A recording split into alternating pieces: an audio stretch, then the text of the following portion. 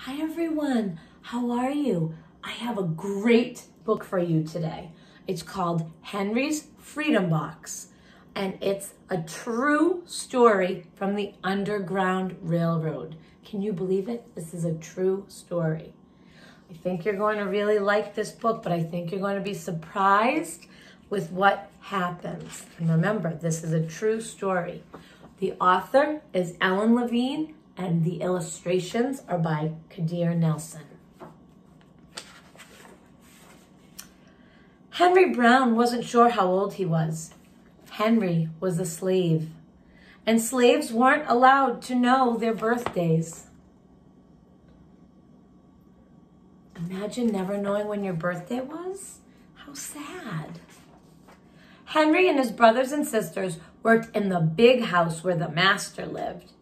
Henry's master had been good to Henry and his family, but Henry's mother knew things could change. Do you see those leaves blowing in the wind? They are torn from the trees like slave children are torn from their families. I wonder what that means. Let's read on and see. One morning, the master called for Henry and his mother. They climbed the wide staircase. The master lay in bed with only his head above the quilt. He was very ill. He beckoned them to come closer. Some slaves were freed by their owners. Henry's heart beat fast. Maybe the master would set him free. But the master said, You are a good worker, Henry. I'm giving you to my son. You must obey him and never tell a lie. Henry nodded, but he didn't say thank you. That would have been a lie. I think he was hoping to be freed, not given to someone else. Later that day, Henry watched a bird soar high above the trees. Free bird, happy bird, Henry thought. Henry said goodbye to his family. He looked across the field. The leaves swirled in the wind. Henry must have been so sad having to say goodbye to everyone. And maybe a little scared too. Henry worked in his new master's factory. He was good at his job. Do not tear that tobacco leaf, the boss yelled at the new boy. He poked the boy with a stick. If you made a mistake, the boss would beat you.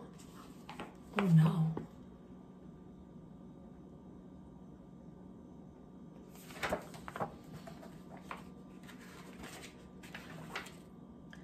Henry was lonely. One day he met Nancy, who was shopping for her mistress.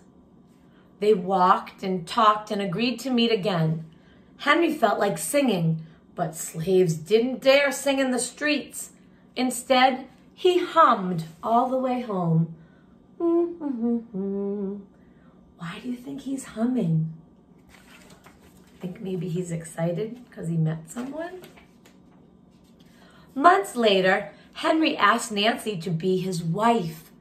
When both their masters agreed, Henry and Nancy were married.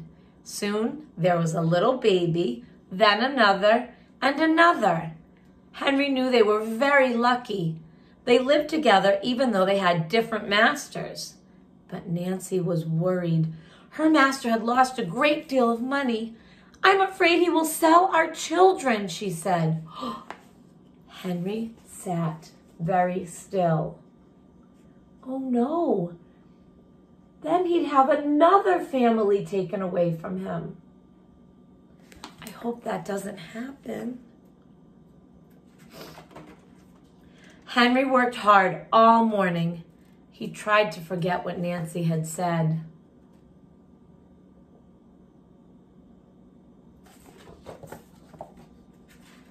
His friend James came into the factory. He whispered to Henry, your wife and children were just sold at the slave market. No, Henry cried. Henry couldn't move. He couldn't think. He couldn't work. Twist that tobacco. The boss poked Henry. Henry twisted tobacco leaves. His heart twisted in his chest. How do you think he must be feeling? I bet he has a lot of emotions. I bet he's sad and mad and angry and really upset. At lunchtime, Henry rushed to the center of town. A large group of slaves were tied together. The owner shouted at them. Henry looked for his family. Father! Father! Henry watched his children disappear down the road. Where was Nancy? He saw her the same moment she saw him. When he wiped away his tears, Nancy too was gone.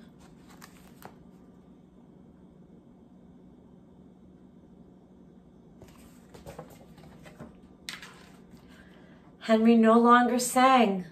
He couldn't hum. He went to work and at night he ate supper and went to bed. Henry tried to think of happy times, but all he could see were the carts carrying away everyone he loved. Henry knew he would never see his family again.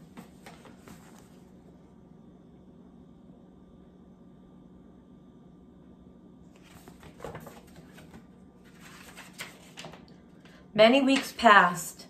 One morning, Henry heard singing. A little bird flew out of a tree and into the open sky. And Henry thought about being free. But how? As he lifted a crate, he knew the answer. He asked James and Dr. Smith to help him. Dr. Smith was a white man who thought slavery was wrong. They met early the next day at an empty warehouse. Henry arrived with a box. I will mail myself to a place where there are no slaves, he said. James stared at the box, then at Henry. What if you cough and someone hears you? I, I will cover my mouth and, and hope, Henry said. What do you think? What do you think of his idea? Do you think it could work? Is there any way it could work? Dr. Smith wrote on the box, to William H. Johnson, Arch Street, Philadelphia, Pennsylvania. Henry would be delivered to friends in Philadelphia. Then he printed on the crate in big letters, this side up with care.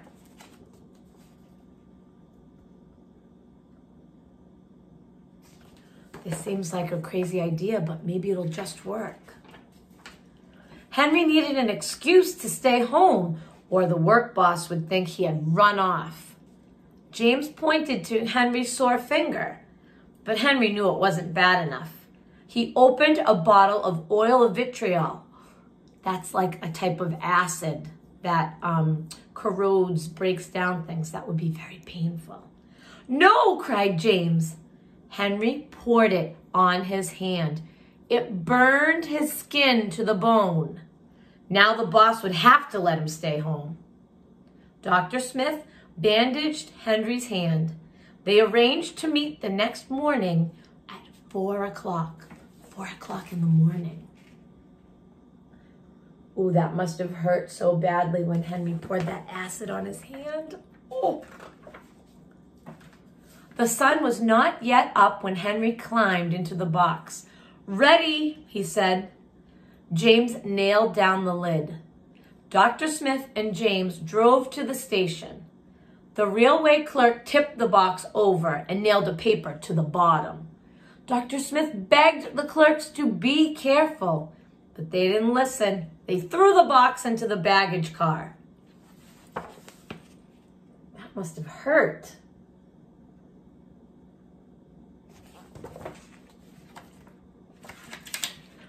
Hours passed. Henry was lifted up and thrown again, upside down. He heard waves splashing. This must be the steamboat headed for Washington, D.C. The ship rode smoothly, but Henry was still upside down. Blood rushed to his head. His face got hot. His eyes ached. He thought his head would burst. But he was afraid to move. Someone might hear him. Imagine being upside down, locked in a box for all those hours. I'm tired of standing, someone said. Well, why don't we move that box and sit on it, said another. Henry held his breath. Could they be talking about his box? Henry was pushed. The box scraped the deck. Now he was on his right side, now on his left, and suddenly, right side up.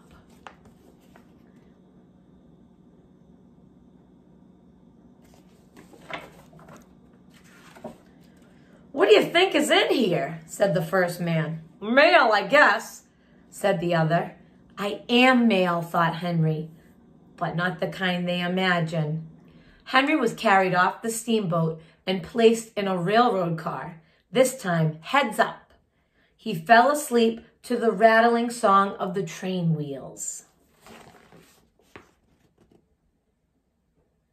They have no idea they're sitting on a person inside that box. He must have been so frightened. He awoke to loud knocking. Henry, are you all right in there? All right, he answered. The cover was pried open.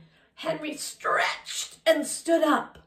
Four men smiled at him. Welcome to Philadelphia. At last, Henry had a birthday. March 30th, 1849, his first day of freedom. And from that day on, he also had a middle name. Everyone called him Henry Box Brown. And that's the story of Henry's Freedom Box, the true story of the Underground Railroad and how this slave became a free man. Well, I hope you enjoyed this book and learned a little bit too. All right, I have lots more stories for you. I'll be back soon. See you then.